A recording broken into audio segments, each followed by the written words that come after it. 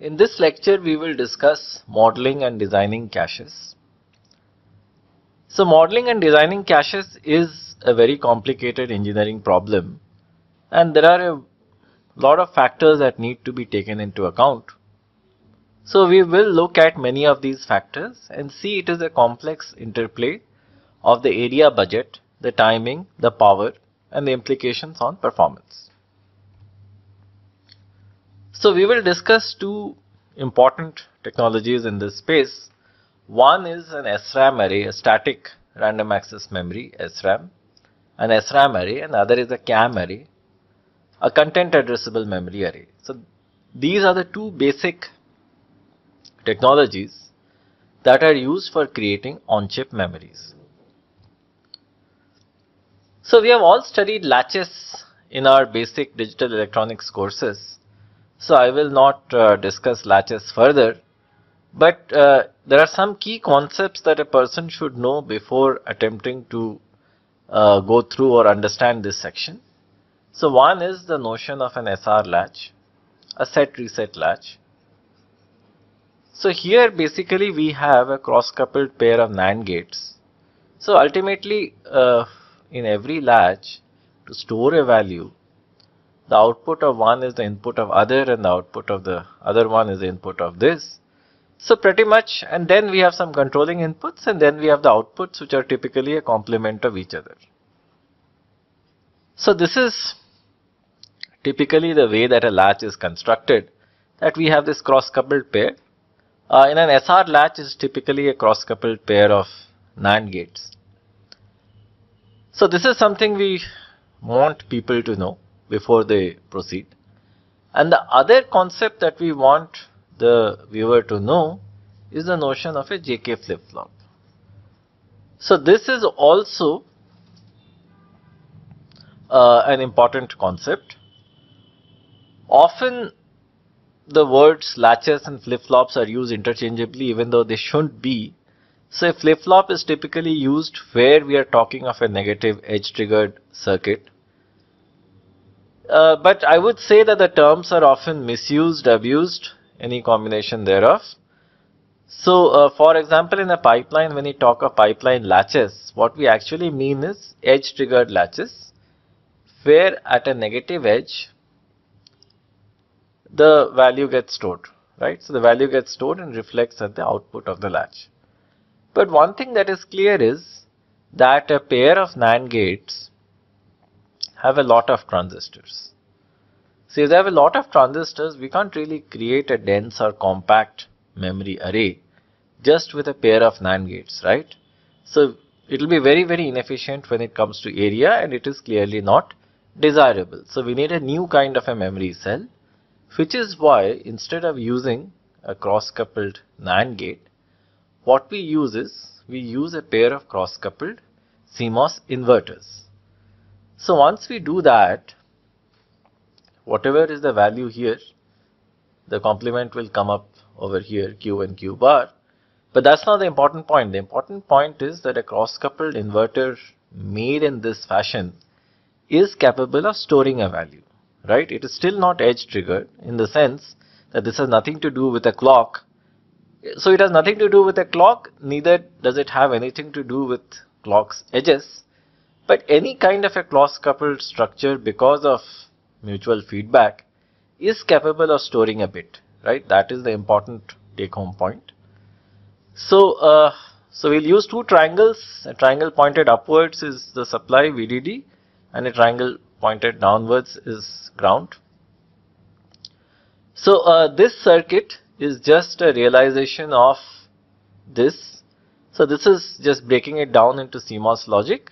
So as you can see, the output of one is the input of the other and the output of one is the input of the other. That is all that we have to it, right? So this just has four transistors. So this four transistor structure is capable of storing a bit, right? And of course it has two terminals. One terminal has Q and the other has the complement of Q which is Q bar. Alright. So of course a lot of analysis can be done and we can uh, look at the basic transistor equations and we can see uh, how exactly this structure will charge and discharge. But that's anyway not in the scope of our current discussion. It is just that if let's say we have a 0 over here, right? So let's say we have a 0 over here, we'll have a 1 over here and then a 0. Or the other state can be we have a 1 over here, then we have a 0 over here, right? So as you can see, it has two states, alright? So I'm not going beyond that in the sake of readability and also this is not in the scope of the current discussion. So we can take this small cell over here which is an SRAM cell and we can actually create you know we can add two more transistors they are known as access transistors and actually create uh, so I stand corrected this, these four transistors are not the SRAM cell there is only part of it so when we add the two additional transistors so we have a six transistor structure and this becomes the SRAM cell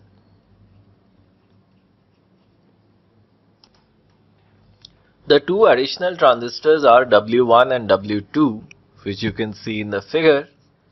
These are called word line transistors. So recall that a transistor is basically a switch. When the word line signal is a 1, the switch is connected. So this becomes a closed circuit. Otherwise, if the word line, the voltage on the word line, which is this, same as this, if the voltage here is 0, then the switch is open which means that it is not connected. So in the 6 transistor SRAM cell, uh, these two access transistors control the access of the transistor to the bit line pair, right? So bit line are essentially the bit lines are two vertical lines on both sides of the cell. So one is called BL and the other is called BL bar. So essentially they hold complementary values. If the switch is connected, if the switch is disconnected, then of course the values in the cell remain what they are and they are unaffected by the voltages of the bit lines. Alright. So the way to access a cell, a 6 transistor SRAM cell is basically by setting the word line voltage to 1 and that ensures that this cross coupled inverter pair gets connected to the bit line pair. So now let us create an array out of this. So what we see is we have the 6 transistor SRAM cell. We create columns of these SRAM cells and they are connected to uh, both sides uh, the bitline pair BL and BL bar. And uh, so then uh, we have several such columns and each row it shares the word line. So as you can see each row shares the word line and we have a decoder over here the input is the row address so the row address is n bits. We will essentially have 2 raised to the power n rows. And what is the job of a decoder? The job of a decoder is to take an n bit input. It will have a 2 to the power n output lines. One of them will be set to 1 depending upon the input. So the input is let's say 0, 0, 1, 1. This basically says that you know 0, 1, 2, 3 counting from 0 the third line is set to 1 alright. So uh, as I said if the row address is n bits we have 2 raised to the power n rows over here. One of the word lines is set to 1 and this enables all the SRAM cells, enables means connects to the bit line, all the SRAM cells in that row. Right. So let us look at the case of reading first. So when I am reading what will happen is that all of these bit lines will get connected. So let's say this is the row. So the bit lines will then uh, get charged to their values. Alright. So the bit lines will then get uh, uh, you know charged to their values and uh, so let's say one bit line can be let's say one bit line pair can be 0 1 other can be 1 0 so whatever is the value stored in the SRAM cell that will come to the bit lines. So it is possible that we might have a very very wide row in the sense the row might contain let's say 64 bytes but we might be interested in only reading 4 bytes. So what we will have is that we'll have a multiplexer over here so which I'm calling a column mux demux. So we'll have a multiplexer over here. What the multiplexer will do is that out of all the inputs that are coming, it will essentially choose the set that we are interested in. So let's say that there are 64 bytes. 64 bytes means 64 times 8 which is equal to 512 bits. So there are 512 cells in the row. Out of that let us say we are interested in only 4 bytes. So 4 bytes is essentially 32 bits. So we are interested in the values of 32 cells in the row. So the mux structure will choose 32 out of 512 and then they will come to these circuits called sense amplifiers. So uh, the sense amplifier is a specialized circuit which what, uh, what it does is that it senses the difference in voltage between the bitline pair and then trans and then essentially converts it to a logical 0 or a logical 1 right so these are essentially voltages right and the SRAM cell is a very weak driver. So we will see that the sense amplifier is a special circuit. But uh, give me a second to explain that. But prior to that, it is important to understand that uh, the voltage difference in the bitline pair is what the sense amplifier will look at and it will convert that to a logical 0 or 1 such that the values can be sent to the CPU.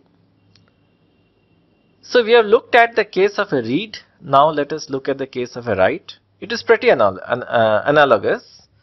So what we do over here in the case of a write is that first we don't use the sense amplifiers.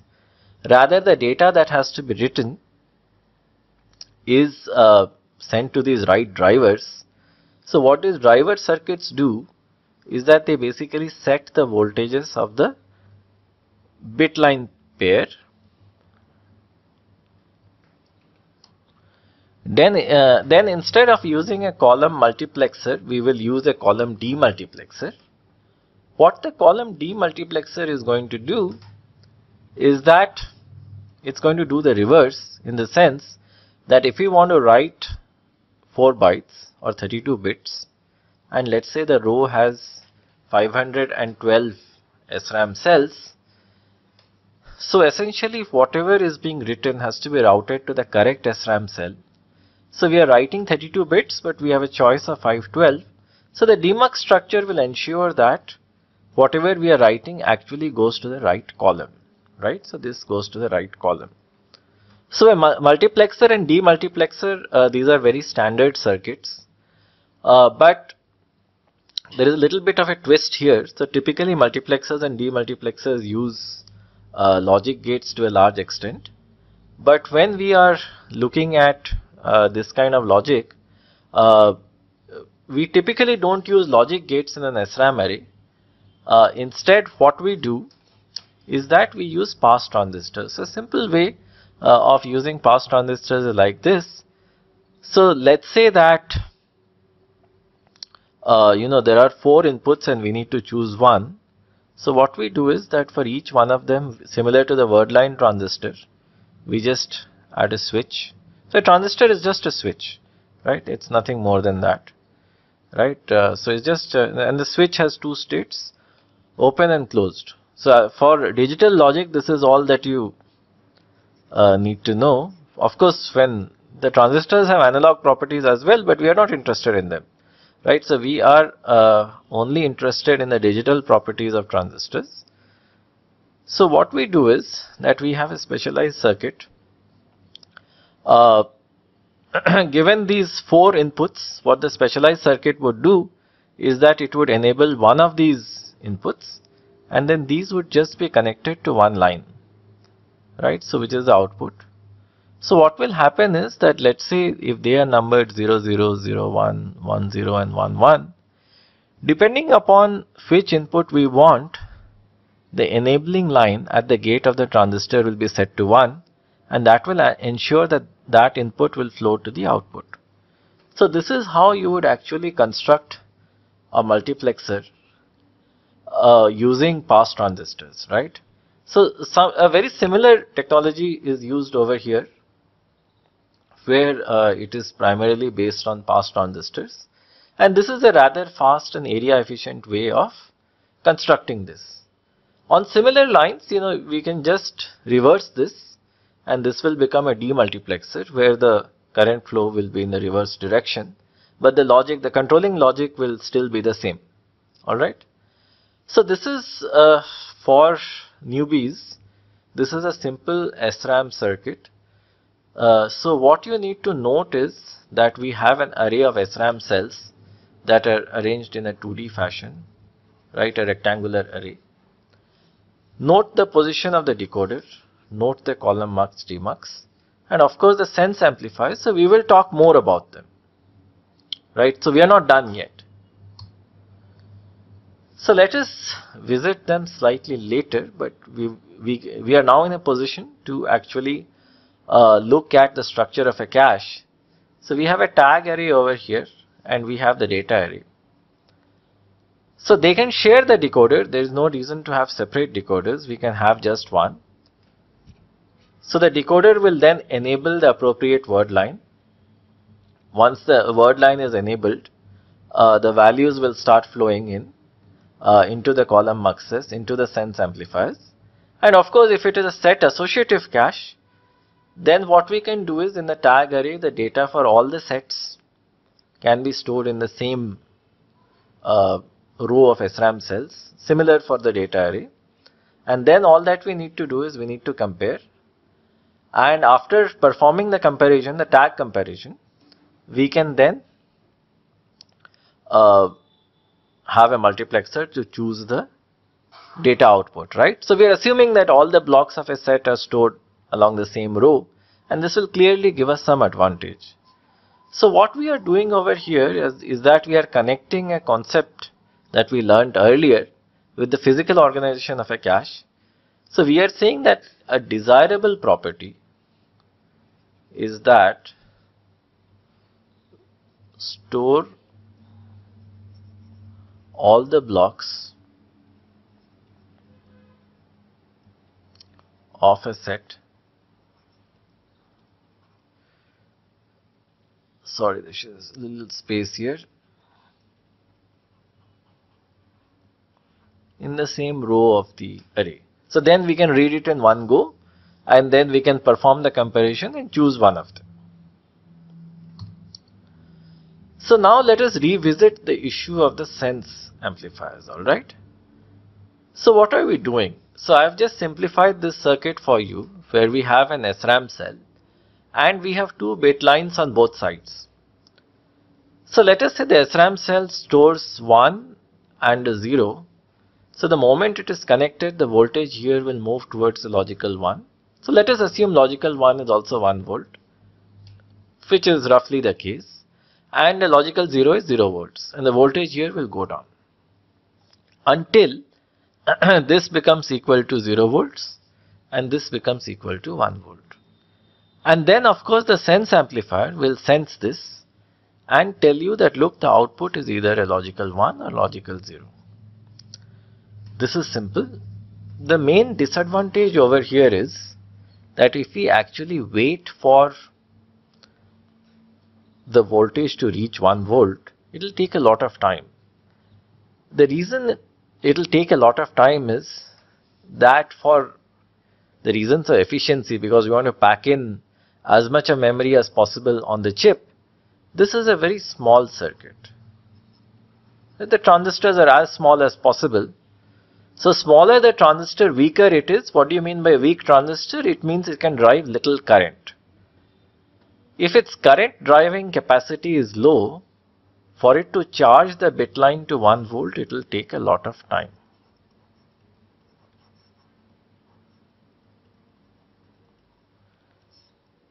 So this is clearly slow and we are performance freaks, right? So we want to run our circuit as fast as possible, our entire processor as fast as possible. And since the SRAM technology is going in creating caches, this is vitally important for us. That is where we do something called a trick. So take a look at this scale over here. Let us assume that this big stone is slightly heavier than the load on the left then gradually this uh, the bar over here will tilt towards the bottom and this will tilt towards the top. Alright. So the question is to, we, we, so we want to figure out which side is heavier, this side or that side. If let's say this stone is heavier, do we wait for this bar to actually hit the ground, which is over here?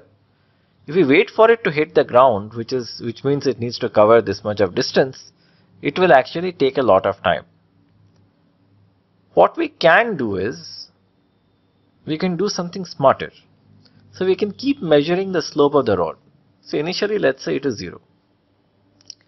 So what can happen is because of a little bit of wind there might be a little bit of oscillation and so we need to ignore that. But once we are sure that the rod has tilted, right, uh, the rod, bar, whatever, but I'm calling it the rod and uh, so once let's say this rod or slab is tilted beyond what you would expect beyond a normal fluctuation because of wind, you can confidently say that this side is heavier. And let's say if it tilts the other way like if it tilts this way you can say that this side is heavier.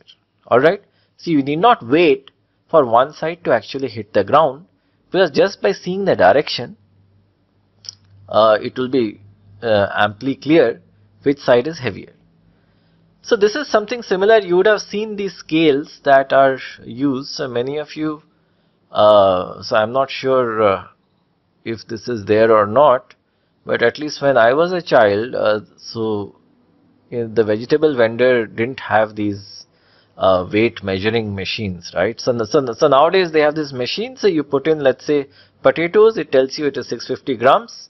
On the basis of that uh, they calculate the price but when I was a child that was not the case so what you would do is you would put potatoes on one side and the vegetable vendor would put weights on the other side so let's say 1 kg weight, a half kg weight and so on.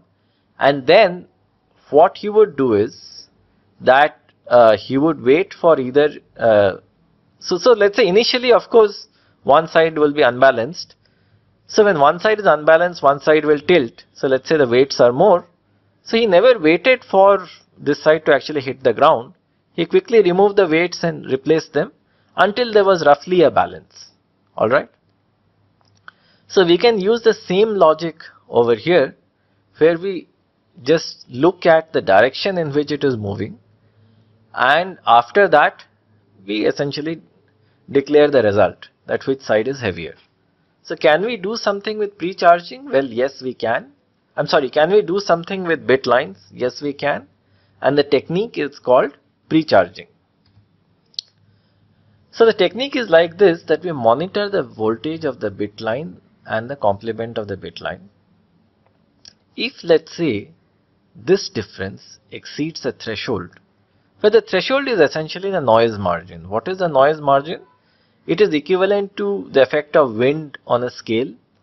Uh, so basically what this means is that since we have a long copper wire, it will pick up some amount of electromagnetic interference right uh, from all sides. In the sense if you turn on a microwave oven uh, then a changing magnetic field will induce a potential difference right? It will be minor but, but nevertheless there will be something. Also if there is another line that is close by because the bit lines run in parallel right so if there is one current flowing over here it will induce some amount of a current over here so which is called crosstalk noise so because of several effects of noise, there will be a little bit of a noise margin. So we need to ignore that. But the moment the difference crosses this threshold, we need not wait for this voltage to actually reach 1. We don't have to wait. Once it crosses the threshold, we declare victory and say that it is a logical one. And similarly, in the other direction, once the voltage of the complement of the bit line exceeds the voltage of the bit line by the same noise threshold we declare is 0. So this is the brilliant idea. So this is known as pre-charging. So what we essentially do is we take both the lines and then both the bit lines BL and BL bar. We set their voltage to 0.5 volts and then we connect the SRAM cell. After that we just sense the difference in the voltage and it sets the output once the different difference crosses the threshold delta Alright. So what do we need to do? We, well, we first need to precharge it to 0.5 volts. This can be done very quickly because in this case, a sense, a small SRAM cell is not driving it.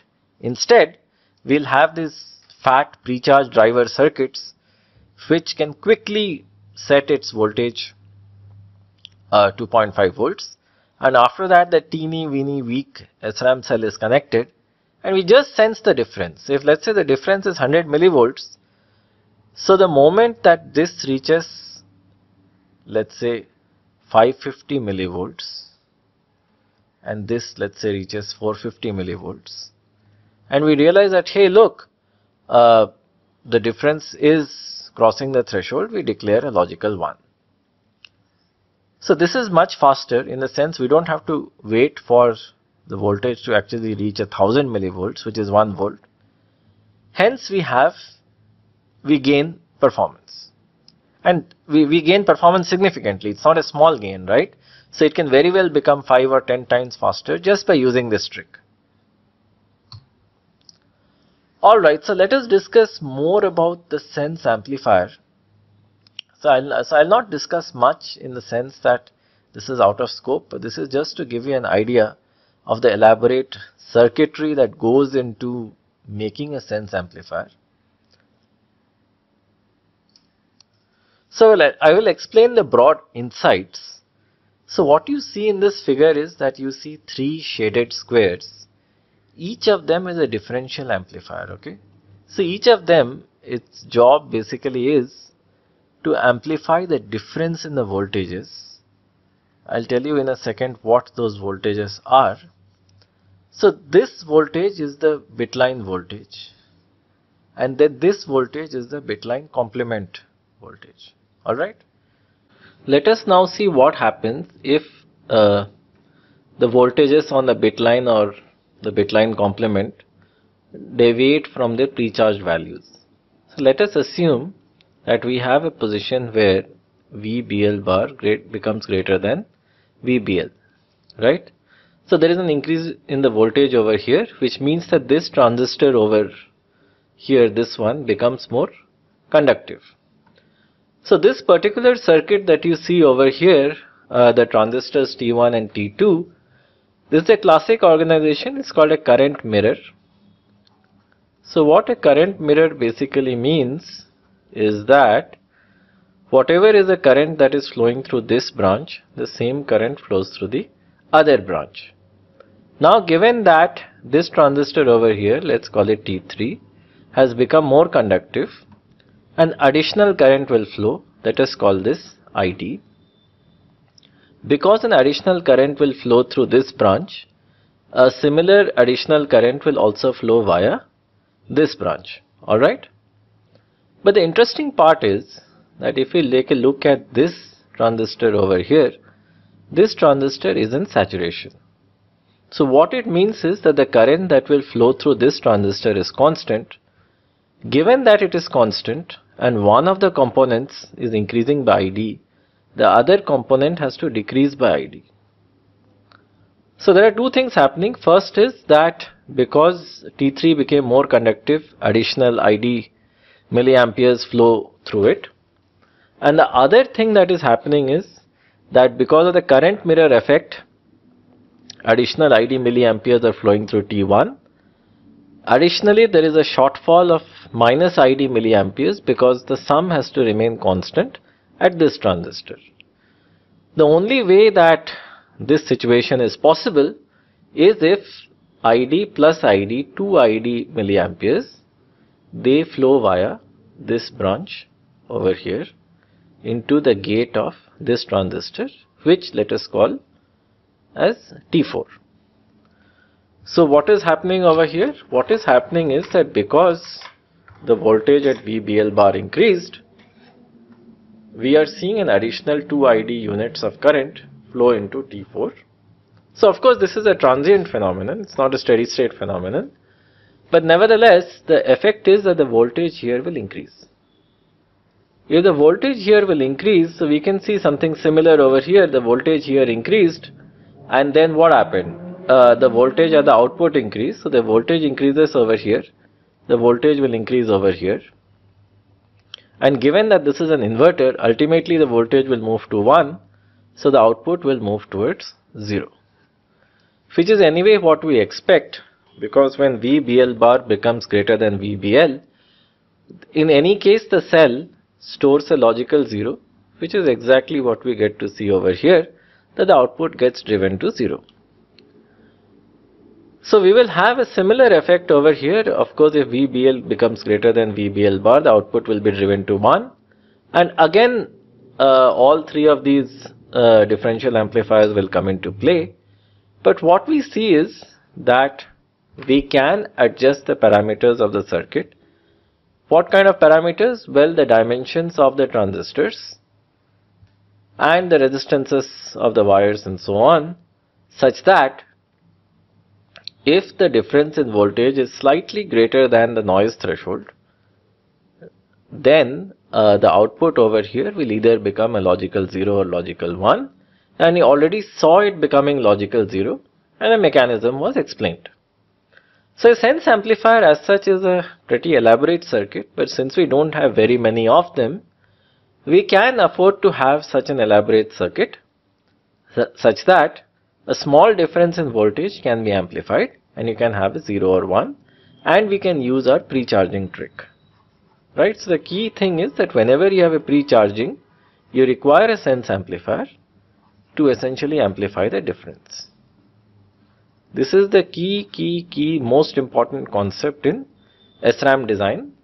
We'll also find that this is also very important in DRAM design, dynamic RAM cell design and uh, the DRAM design will uh, use sense amplifiers albeit their design will be not like this it will be different but the basic concept is still the same that you pre-charge and then uh, you look at deviations from the pre-charged voltage. Alright, so we have discussed the SRAMs. So let us get into the uh, oh I'm sorry. I'm sorry. This is a, a, small mistake over here. It should be in CAM array now this is what happens when you copy paste slides. So I'll advise all of you not to copy paste slides. If so don't do it the way I am doing. Use your brain. Okay. Uh, apologize for this mistake. Uh, so we have a CAM array so CAM is a content addressable memory. A content addressable memory at its heart is an SRAM cell plus slightly more. So we recognize the top part above the match line. It is the regular 6 transistor SRAM cell which by now we totally understand we are experts in it and we understand everything that is happening between these two arrows. We every understand everything that is happening between these two arrows, right? So we understand this completely. So I don't want to draw, let me draw a big circle to clutter up the diagram and then I what I'm going to do is that I'm going to erase the big circle such that the diagram becomes uncluttered. Now the important point is that I have an additional bit A which is an input bit and I would like to check if the value stored in the SRAM cell which is Q is equal to A or not if it is equal to A, I'd like to do something. If it is not equal to A, I would like to do something else. Right, so what will I do if it is equal to A? Here is what I'm going to do. So uh, the additional A, the, the value that I would like to compare, because recall that a content addressable memory, you, all, you compare the contents of the cell. So one way to compare is we use a traditional compare, comparing circuit, which is essentially a XOR gate. We can use a XOR gate, but a XOR gate would require more transistors. And also a XOR gate is not very efficient when comparing several values, right? So we'll use a different technology, but let me tell you what it is. So first we uh, input A and A complement both. So this value over here which is coming is A complement, this is Q, this is Q complement and this is A. Alright, so every transistor as I said is a switch. You send it 1, the switch closes, you send it 0, the switch opens. So the thing is that we need to understand under what conditions is there a conducting path from the match line to the ground which means the match line will get set to 0 volts alright. So we will keep on coming back to this slide let me show you the next slide. Uh, so here uh, I should maybe have a slightly longer one alright a slightly longer one alright so let us look at these values once again. Alright, so let's take a look at the first row. So let's assume, sorry, I didn't mean to do that.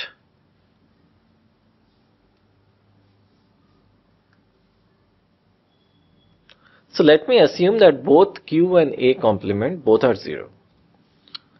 See both of them are 0, both these transistors are off. So there is clearly no path from here to here. Alright. So let us say that they are 0 and 1, then also one is off, other is on.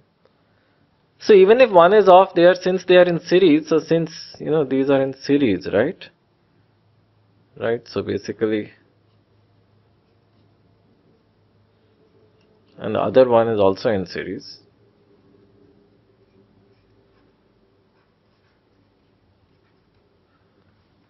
What we want is that if there is a conducting path from ground to the match line.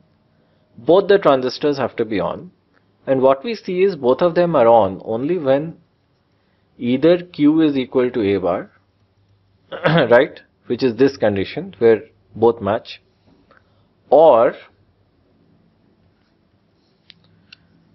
Q bar is equal to A which is again the same right uh, when uh, both are equal to 1 so that is when there is a conducting path. So which uh, we can clearly see over here that if q bar is also 1 and a and a is 1 and both are equal to 1 uh, then there is a conducting path. Or when q is equal to a, a bar and both are equal to 1 there is a conducting path. Right? So basically I should write it as this. So this will uh, kind of clarify things. Alright so here is the important point so the important point is that if let's say q is equal to a bar is equal to 0, automatically you can say that q bar is equal to a is equal to 1 and similarly you can say the vice versa. So which basically means that if q is equal to the complement of a only then, then do we have a conducting path which means if q is unequal to a if q and a are not the same then only we have a conducting path otherwise we don't have.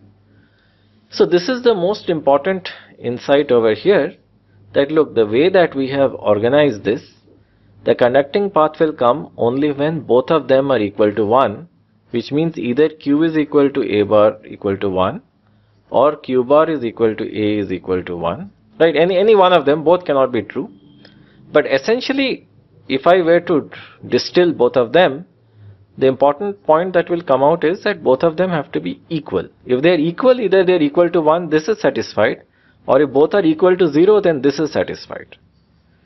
If they are equal, I can then write this as if q and a are not equal, given its boolean way I can write this. If they are not equal, only then the match line in this case will be set to 0. Otherwise, it will retain its previous voltage. Alright. So let us say if I precharge the match line to 1 volt, it will remain so unless Q is not equal to A. In this case, it will quickly get discharged to 0. Alright. So this is the key idea behind a 10 transistor CAM cell where we have a 6 transistor SRAM which is a you know a traditional SRAM, nothing new about it, new with it.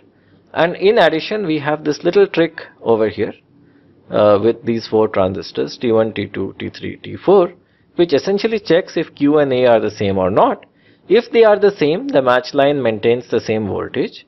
Otherwise, it gets set to the ground voltage. Okay, so you keep uh, taking a look at this table. It will help you understand uh, the previous uh, table over here. But let me move ahead. So what we can do is that we can have the same SRAM array. Instead, we replace an SRAM cell with a CAM cell. And of course, there is some additional circuitry in the sense along with the bit line and bit line bar, we also input the bits, right, that we would like to compare. So if let's say there is an, there are n elements over here in a row, we put in n elements. And then what we do is we simply compare. Alright, uh, so our job over here is to simply compare. The way that we do it is that we pre-charge the match line to 1 volt. Even if there is one mismatch, the match line will get discharged to 0 volts. Alright? Right, so even if there is one mismatch, the match line over here will get discharged to 0 and you will know that there is no match. So what we can do is that in our decoder we can have two modes. One can be the regular SRAM mode where we don't use the CAM functionality. In, and this can be used for example to populate data, to read out data, right? A non-CAM functionality. So in this case what we do is that uh, we disable these A1, A2, AN lines, right? They don't matter. And we don't care about the match lines and we just access them as regular SRAM cells. And recall we uh, had a column mux, demux there also. We have one here also and we have the write driver and the sense amplifiers. So all of these remain the same. What actually varies or differs in this case is that in the CAM mode, what the decoder is going to do is that the decoder is going to enable all the word lines, alright? Uh, oops, I'm sorry, uh, I stand corrected. Uh, what the decoder will do is it will disable all the word lines. So it will essentially disable the SRAM functionality.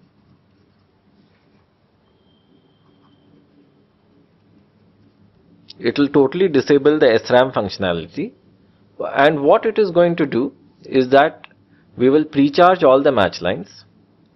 After we pre-charge all the match lines we will allow the match lines to be set.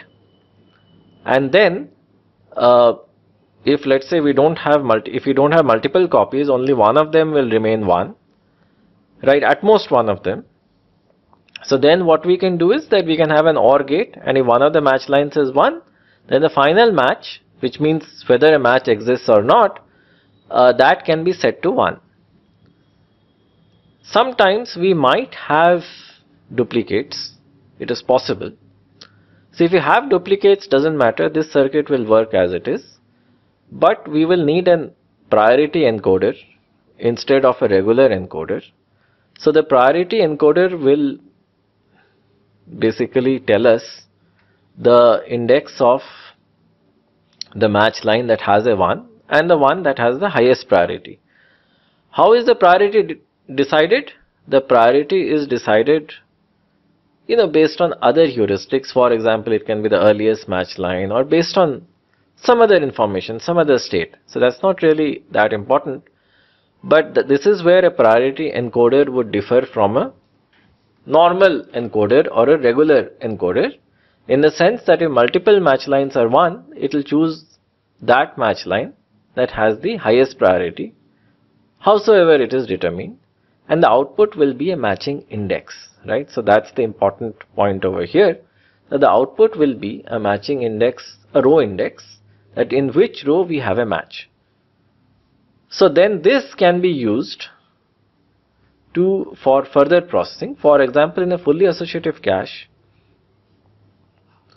the tag array can be a CAM array. So we can check the tag. Wherever there is a match, we can send it to the SRAM array, which is the the data array which is made of SRAM cells. Right, so since we have the exact index, we send it over here and we get the data. So the data array will clearly be much bigger because it will contain 64 byte blocks. So that can be made using SRAMs. And the tag array can be made using CAMs. So CAMs are of course much slower and require much more area as you can clearly see over here that each cell is bigger and also we need more space for these wires. So that is why the CAM array is much bigger and slower and inefficient. But it can be used for the tag part and tags are in any case small and also CAM arrays will be used when we have fewer entries. So once that gives us the matching index, if there is a match that is, we can quickly access the data array made of SRAMs. So this should give you an uh, give you a broad overview of the CAM and SRAM technologies. and uh, so they form the basis of modern memory systems. SRAMs as I said are faster, much faster, so they are used almost all the almost everywhere for the data part, for the data arrays. CAM arrays are occasionally used for the tag arrays, particularly when we have few entries and there is a need for creating a hash table like structure, right? Where we would need fully, uh, where we would need a fully associative structure. Alright. Now the next part is the design of the cacti tool. The cacti tool uh, is an automatic cache design space exploration tool which we will discuss next.